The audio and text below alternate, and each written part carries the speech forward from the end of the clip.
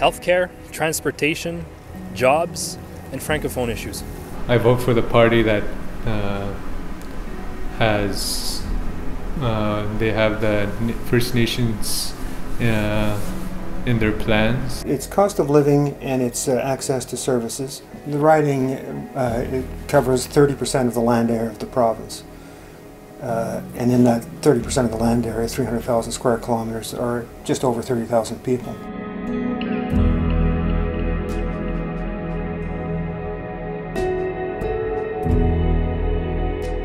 Fully appreciating our natural resources, and I think it's very important to to uh, to to recognize that we need to better conserve what we have naturally in our backyards. There's a lot of health issues also that uh, needs to be addressed. Things are not being addressed. The real issues, the underlying things that need to be addressed.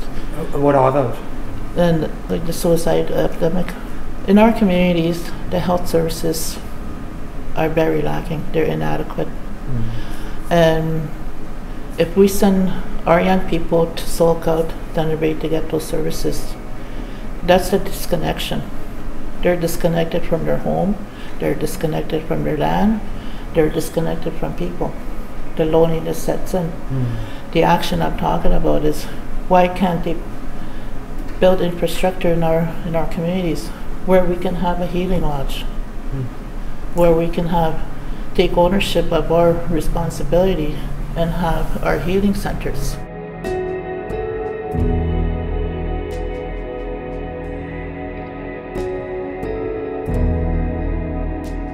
mostly uh, what Forster is concerned about is the federal, the federal um, elections, the prime minister, what their promises are for, for uh, for the Aboriginal communities. Mm. But for Bencho, it kind of tends to fall on the sidelines here. I think uh, touching the lives of uh, First Nations that uh, have probably never voted before, um, getting them to the stations and being able to, to vote probably for the first time.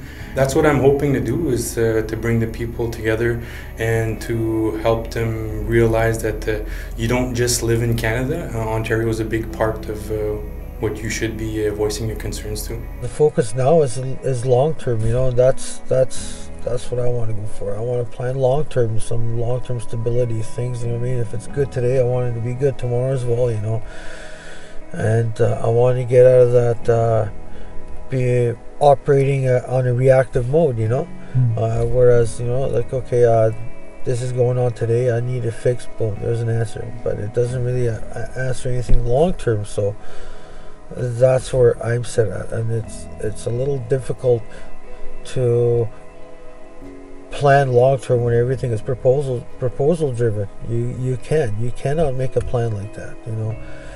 And uh, and uh, what the only way, only solution I see for that is economic development with either within the community or outside the community in an urban setting. We protect our values, and uh, and our values are you know if you're francophone, anglophone, First Nations, I think we should we we we we're treated equally and uh, we need to fight for that because that's something that is we should be proud of as being Ontarians.